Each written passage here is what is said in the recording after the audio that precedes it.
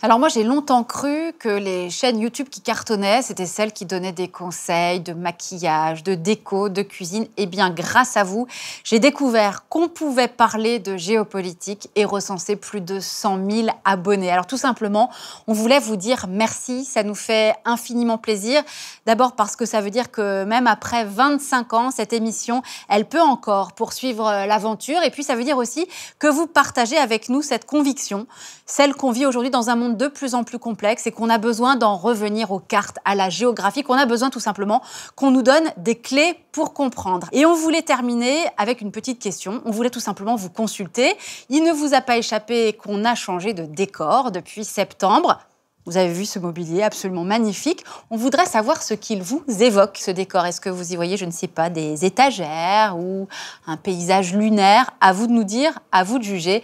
Et encore une fois, 100 000 merci.